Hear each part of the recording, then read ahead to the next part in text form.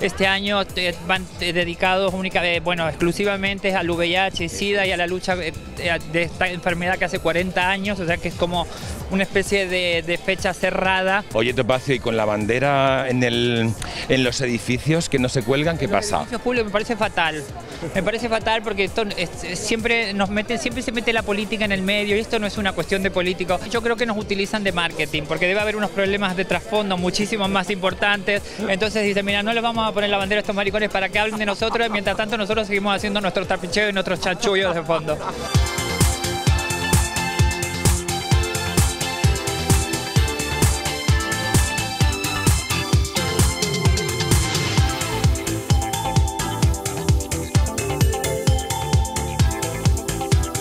Ramón, eh, mucho camino recorrido para los enfermos del VIH y cuánto queda por recorrer.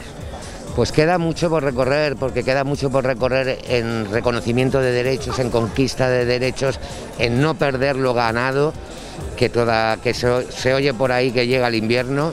Hay una manipulación política de todo esto, ¿no? Entonces, Hay unas declaraciones tuyas que me han, con las que estoy muy de acuerdo y es que se ha blanqueado mucho la derecha en los platos de televisión y en los medios de comunicación. ¿Qué podemos hacer contra eso? No votarles.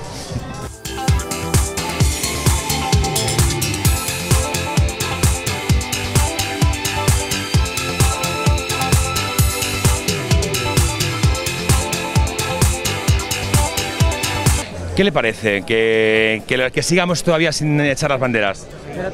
A ver, va a haber una super bandera en Madrid, ya os lo adelanto, ¿vale? Pero no puede ser en el ayuntamiento porque asesoría jurídica, que no son políticos, que son funcionarios, nos han dicho que no podemos. Claro, si ahora la pongo estoy prevaricando. procede reivindicar, defender, recordar lo que representa la lucha por la igualdad, por la libertad, por la diversidad.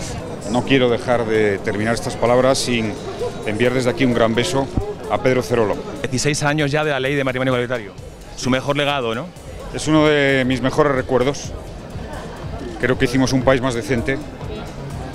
Creo que legislábamos con justicia para nuestros amigos, nuestros familiares, nuestros vecinos y que se abría una puerta de esperanza frente a la humillación y la discriminación.